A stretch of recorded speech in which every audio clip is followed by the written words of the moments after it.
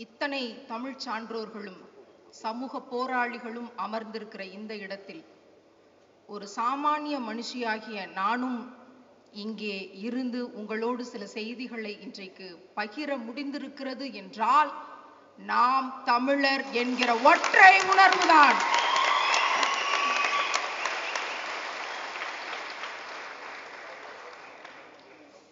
தமிழ் என்கிற ஒற்றை புள்ளி மட்டுமே சொரணையுள்ள ஒரு சமூகத்தை உருவாக்க முடியும் என்கிற உந்துதல் எப்பொழுதுமே எனக்கு உண்டு. நூலைப்படி சங்கத்தமிழ் நூலைப்படி காலையில் படி கடும் பகல் படி மாலை இரவு பொருள் படும்படி கற்பவை கற்கும்படி வள்ளுவன் சொன்னபடி கற்கத்தான் வேண்டும் அப்படி கல்லாதவர்கள் வாழ்வதைப்படி அகம்படி அகப்பொருள் படி அப்படியே இன்பம் படி இறந்த தமிழ் நான்மறை மீண்டும் பிறந்ததென்று சொல்லும்படி.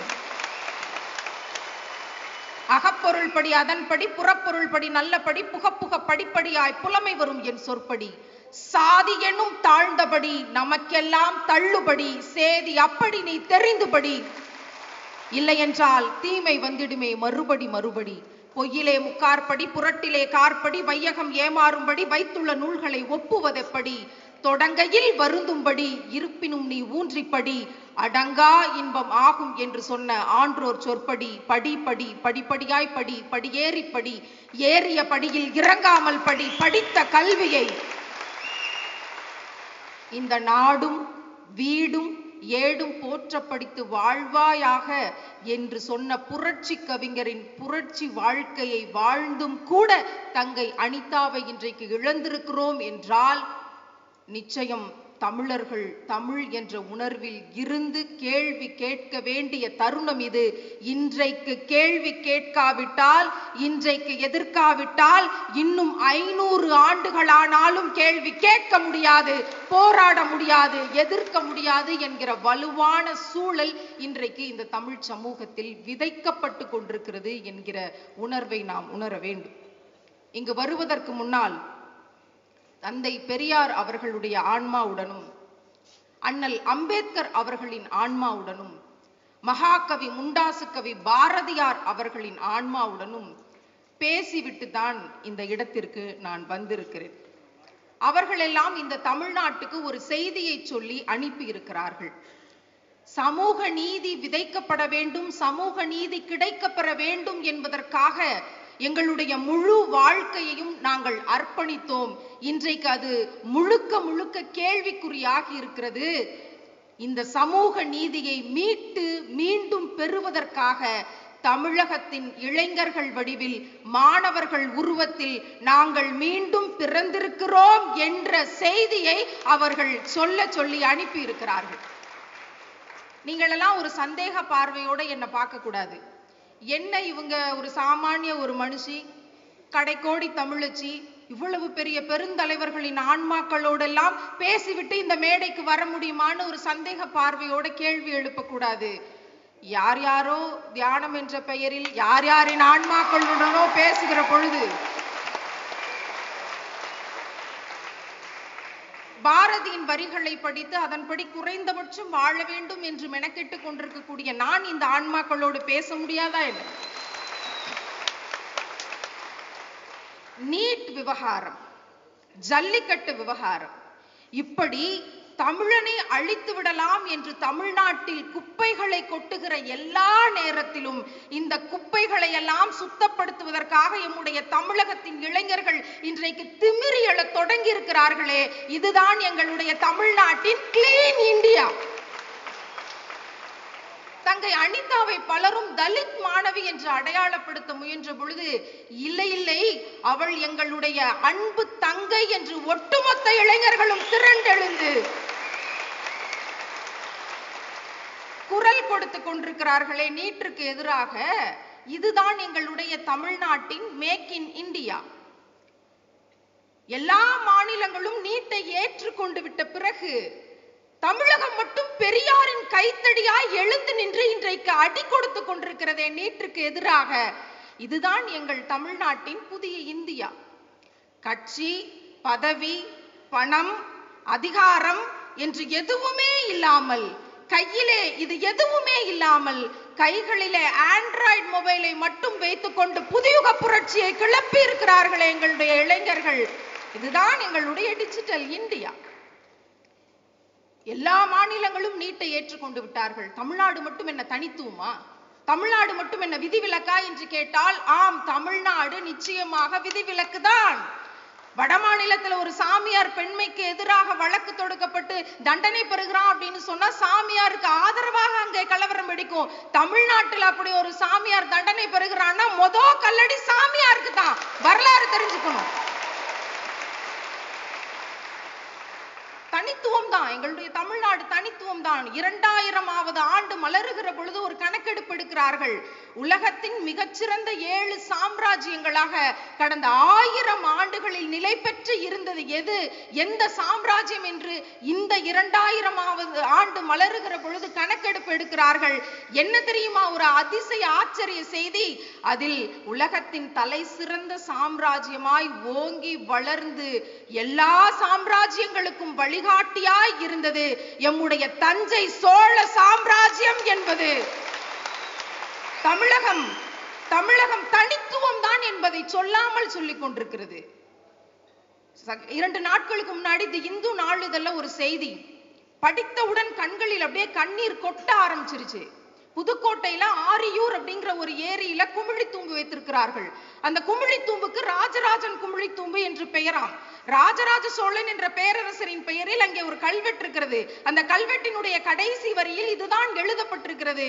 இந்த ஏரியையும் இந்த மதகையும் இந்த குமிழி தூம்பினையும் யார் பராமரித்து பாதுகாத்து காப்பாற்றி வருகிறார்களோ அவர்களுடைய காலடியில் ஒட்டி இருக்கக்கூடிய சிறு மண் துகளை என் தலையால் தாங்குவேன் என்று ராஜராஜ சோழன் என்ற அந்த பேரரசன் நம் தஞ்சை பேரரசன் சொல்லி இருக்கிறார் என்றால் இந்தியாவுக்கே தலைநகரமாக இருந்திருக்க வேண்டிய இந்த தமிழ்நாடு தலைநகரத்தால் அடிக்கப்படுகிறது என்றால் அத்தனை தமிழர்களும் ஒன்றிணைந்து கேள்வி கேட்க மட்டுமல்ல போராட மட்டுமல்ல உயிரையும் கொடுத்து எதிர்த்து நிற்க வேண்டும் என்பதற்கு உதாரணமாய் இந்த அனிதா இன்றைக்கு மாறி இருக்கிறாள் என்றால் நிச்சயம் இது இது மிக மிக மிக ஆபத்தான தருணமாக நான் உணர்கிறேன். NEET is a justice NEET is a equality என்று சொல்லிக் கொண்டிருப்பவர்களுக்கு சில கேள்விகளை சில சந்தேகங்களை இந்த இடத்தில் பொதுமக்களின் சார்பில் நான் முன்வைக்கிறேன். NEET is a NEET is a justice என்று சொல்லிக் கொண்டிருக்கிறீர்களே ஈக்குவாலிட்டி ஜஸ்டிஸ் என்பது யாருக்காக? இந்திய மக்களுக்கு இந்திய மாணவர்களுக்கு என்றால் எதற்காக? ப்ரோமெட்ரிக் என்கிற ஒரு அமெரிக்க நிறுவனம் இந்த நீட் தேர்வினை இன்றைக்கு நடத்தி இருக்கிறது என்பது கேள்வி. இங்கே குடிசைகளில் இருக்கக்கூடிய பிள்ளைகளுக்கு சமநீதியையும் சமத்துவத்தையும் தருவதற்கான ஒரு நுழைவுத் தேர்வு இது என்றால் எதற்காக இந்த நீட் தேர்வினை ஒரு குளோபல் என்ட்ரன்ஸ் டெஸ்டாக வைத்திருக்கிறீர்கள்? ஓ வீட்டு பிள்ளை கஞ்சிக்கு வெளியில்லாம செத்துக்கிட்டு இருக்கும் போது ஆயிரத்தி எழுநூறு பேர் வெளிநாட்டுக்காரங்க வந்து இந்த ஆண்டு முதலாம் ஆண்டு இங்க படிச்சுக்கிட்டு இருக்காங்கன்னா நீங்கள் என்ன சொல்ல வருகிறீர்கள் என்பது எங்களுடைய ஐயம். இதனுடைய பின்னணி என்னவாக இருக்கிறது என்பது ஒரு சாமானிய மக்களுடைய கேள்வியாகவும் ஐயமாகவும் இருக்கிறது இதுல மிகப்பெரிய நகைச்சுவை என்ன அரங்கேறி இருக்குது அப்படின்னா நம்முடைய கல்வித்துறை இப்போ ஒரு அறிவிப்பை கொடுத்திருக்கு. வெளி மாநிலத்தில் வட மாநிலத்தில் இருக்கக்கூடிய மிகச்சிறந்த திறமையான ஆசிரியர்களை இங்கே நீட் கோச்சிங் சென்டர்களுக்கு ஆசிரியர்களாக நியமித்து நாங்கள் கோச்சிங் கொடுக்க போகிறோம் என்று சொல்லி இருக்கிறார்கள் இது ஒட்டுமொத்த ஆசிரியர்களுக்கான தேசிய அவமானமாக நான் இந்த நிகழ்வை கருதுகிறேன் தோழர்களே. எப்படி இருக்கும்னு யோசிச்சு பாருங்களேன். நேத்து இந்த செய்தியை குறிப்பிடுத்திட்டு நான் யோசிச்சு பார்க்குறேன். வட மாநிலத்தில் இருந்து வந்து ஆசிரியர்கள் நம்ம தமிழ் பிள்ளைகளுக்கு அரியலூர்ல இருக்கிற தமிழ் பிள்ளைகளுக்கு பாடம் நடத்துறாங்க. நீட் கோச்சிங் சென்டர் எப்படி இருக்கும்? ஏ காவ்மே ஏ கிசான் ரகதாத்தா. இப்படித்தான் இருக்கும். வீட்டுல மனைவி கோச்சுக்கிட்டு வெளியில போயிட்டா. குடும்ப தலைவி சண்டை போட்டுட்டு வெளியில போயிட்டாங்க. அப்போ கணவன் அந்த குடும்ப தலைவன் என்ன செய்யணும்மா? எனக்காக இல்லாட்டியும் நம்ம பிள்ளைகளுக்காண்டியாவது வாமான்னு சமாதானம் பண்ணி கூட்டிட்டு வந்து குடும்பம் நடத்தினா அது ஒரு நேர்த்தியான குடும்ப தலைவனுக்கு அழகு. மனைவி கோச்சிட்டு வெளியில போயிட்டா நாம் ஊர் மற்ற ஊர்கள்ல இருக்க மனைவிமார்களை அழைச்சிட்டு வந்து குடும்பம் நடத்துவேன்னு சொன்னா இது எவ்வளவு அபத்தமோ அவ்வளவு அபத்தமானது மற்ற மாநிலங்கள்ல இருந்து ஆசிரியர்களை கூட்டு வந்து நீட் கோச்சிங் சென்டருக்கு நான் பயிற்சி கொடுப்பேன்னு சொல்றது. எதற்காக இதை இந்த நேரத்தில் சொல்ல வேண்டி வருகிறது என்றால் அபத்தம் அதை நிரூபிப்பதற்கு இன்னொரு அபத்தம் அதை நிரூபிப்பதற்கு இன்னொரு அபத்தம் என்று அபத்தத்திற்கு மேல் அபத்தத்தை தான் இன்றைக்கு இந்த நீட் நம்மிடையே விதைத்து கொண்டிருக்கிறது அப்படிங்கிறதுக்கு தான் இந்த செய்திகளை சொல்ல வேண்டி வருகிறது. இதுல இன்னொரு மிகப்பெரிய ஆச்சரியம்.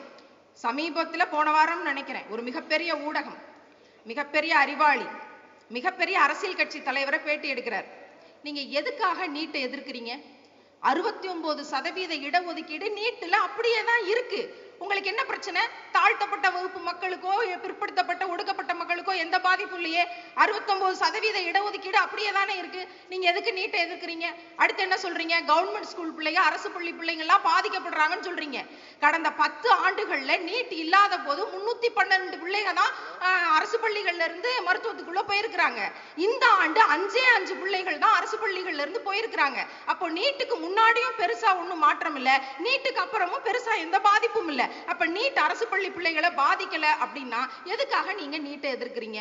ஸ்டேட் போர்டில் படிக்கிற குழந்தைகள் எல்லாம் பாதிக்கப்படுறாங்கன்னு சொல்றீங்களே இந்த ஆண்டு அறுபத்தி ரெண்டு சதவீதம் ஸ்டேட் போர்டில் படிச்ச குழந்தைங்க தான் நீட் தேர்வு எழுதி மருத்துவத்துக்கு பாஸ் பண்ணி போயிருக்காங்க. ஆக இடஒதுக்கீடு பிரச்சனை தாழ்த்தப்பட்ட பிற்படுத்தப்பட்ட ஏழை மக்கள் பாதிக்கப்படுறாங்கன்னு சொல்றதும் அடிபட்டு போச்சு. அரசு பள்ளி பிள்ளைகள் பாதிக்கிறாங்கன்னு சொல்றதும் அடிபட்டு போச்சு. அறுபத்தி ரெண்டு சதவீதம் ஸ்டேட் போர்டுல படிச்சுதான் நீட் எழுதி மருத்துவத்துக்குள்ள போயிருக்காங்கன்னா அந்த பாயிண்ட்டும் அடிபட்டு போச்சு. எதுக்காக இப்ப நீங்க நீட்டை எதுக்குறீங்க அப்படின்னு கேக்குறாரு. நல்லா கவனிக்கணும். எதையெல்லாம் இன்னைக்கு பிரச்சனைன்னு நம்ம பேசுறோமோ அதை எல்லாத்தையும் சில புள்ளி விவரங்களை கொடுத்து சரியா தானே இருக்கு என்ன பிரச்சனை உங்களுக்குன்னு ஊடகங்கள் கேக்குது. நான் அந்த அத்தனை பேருக்கும் அத்தனை ஊடகங்களுக்கும் அத்தனை அறிவாற்றல் மிகுந்த புள்ளி விவர புலிகளுக்கும் இந்த மேடையில் இருந்து ஒரு தமிழச்சியாக என்னுடைய பதிலை நான் சொல்லுகிறேன். நான் சொன்னால் கூட அது பல விமர்சனங்களுக்கு ஆளாக்கலாம். ஆனால் முண்டாசு கவிஞன் பாரதியாரை அழைத்து கொண்டு வந்து இந்த கேள்விக்கு பதில் சொல்லுகிறேன். தனி ஒரு மனிதனுக்கு உணவில்லை எனில் ஜகத்தினை அழித்திடுவோம் சொன்னான். தனி ஒரு அனிதாவுக்கு தனி ஒரு அனிதாவுக்கு நியாயமான கல்வி கிடைக்க பெறவில்லை என்றால் இந்த கல்வி கொள்கையை எரித்திடுவோம் இன்னைக்கு கிளம்பி இருக்குமே இதுதான் இந்த கேள்விகளுக்கு பதில். நீங்க என்ன கேக்குறீங்க? நாங்க உங்கள்கிட்ட மாநில பட்டியலை கொடுத்துறோம். கல்வியை உங்கள்ட்டயே கொடுத்துட்றோம். நீங்களே கொஸ்டின் பேப்பர் எடுத்துக்கோங்க. நீங்களே தேர்வையும் வச்சுக்கோங்க. ஆனா ஒரு லட்சம் பேர் வந்து பரீட்சை எழுதுவான். ஐயாயிரம் சீட்டு தான் இருக்கு. ஐயாயிரம் பேருக்கு தான் நீங்க இடம் கொடுக்க முடியும். அப்போ தோல்வி அடைந்த அதில் தேர்வாகாத மாணவர்கள் தற்கொலை செய்து கொள்ள மாட்டார்கள் என்ற உத்தரவாதத்தை உங்களால் கொடுக்க முடியுமான்னு கேக்குறாங்க. நான் அவர்களுக்கு என்ன பதில் சொல்றேன்? மாநில பட்டியலுக்குள்ள கொடுங்க. கல்வி எங்களுக்குள்ள வரட்டும். நாங்களே தமிழ் மொழியில அம்மையார் சொன்ன மாதிரி மருத்துவ கல்வியை தமிழ் மொழியிலே கொடுத்துக்கிறோம். நாங்களே தேர்வையும் வச்சுக்கிறோம். எங்கள் தமிழ் மொழியில தேர்வு தாளை கொடுக்கிறோம். அதன் பிறகு எத்தனை பேர் தேர்வாகிறாங்க? எத்தனை பேர் நாங்க நீட்டுக்குள்ள வைக்கிறோம் வைக்கல அப்படிங்கிற முடிவுகளை எல்லாம் அதற்கு பிறகு வைப்போம் அப்படிங்கறத இந்த ஊடகவியலாளர்களுக்கு இந்த அறிவாற்றல் நிறைந்த மேதைகளுக்கு இந்த இடத்துல இருந்து பதிலா சொல்ல விரும்புறேன் நீட் ஒரு மனித தர்மம் என்று இன்றைக்கு பலரும் பேச தொடங்கி இருக்கிறார்கள் நிச்சயமாக இல்லை நண்பர்களே நன்றாக சிந்தித்து பார்த்தால் நீட் மனித தர்மம் என்பதையெல்லாம் தாண்டி நீட் மனு தர்மத்தை விதைக்க இன்றைக்கு முன்வந்திருக்கிறது அப்படிங்கிறது தான் நிதர்சனமான உண்மையாக மாறிக்கொண்டிருக்கிறது. இன்றைக்கு இந்த கருத்தரங்கத்தினுடைய தலைப்பு நீட் தேர்வினால் மருத்துவ கல்வியின் தரம் உயர்த்தப்படுமா என்று என்னை கேட்டால் ஒரு சாமானிய பொதுத்தளத்தில் இருக்கக்கூடிய பெரிய அறிவாற்றல் எல்லாம் இல்லாத ஒரு மனுஷியாக நான் சொல்லுகிறேன். விளைச்சல் அதிகமாகும் என்று சொல்லி உரம் போட்டு இந்த நிலத்தை மலடாக்கி வைத்தது மாதிரி தரம் அதிகரிப்பதாய் சொல்லி நீட்டை கொண்டு வந்து மருத்துவ கல்வியை குருடாக்க பார்த்து கொண்டிருக்கிறார்கள். நாம் தமிழர்கள் என்பது உண்மையானால் கிளர்ந்தெழுவோம். உயிரை தாண்டி இந்த தேசம் முக்கியம் என் தமிழ் தேசம் முக்கியம் என்று கிளர்ந்தெழுவோம். ஏ ஆர் ரஹ்மான் அவர்கள் தாய் மண்ணே வணக்கம் என்ற அருமையான பாடலை கொடுத்து தேசபக்தி என்றால் இப்படி இருக்குமோ என்று இன்றைக்கு இளைய தலைமுறையிடம் சில தாக்கத்தை ஏற்படுத்தினார். ஒரு தமிழனாக இருந்து இரண்டு ஆஸ்காரை வென்று வந்து நிறுத்தி தம் தமிழர்களுக்கு பெருமை தேடி தந்தார். அப்படின்லாம் இன்னைக்கு இளைஞர்கள் பேசும்போது கடந்த வாரம் ஏ ஆர் ரஹ்மான் அவர்கள் சொல்லி இருப்பதாக ஊடகங்களில் படித்தேன். இன்னைக்கு இருக்கிற தமிழ்நாட்டுக்கெல்லாம் சீமான் தான் சரின்னு சொல்லி இருக்கிறாருன்னா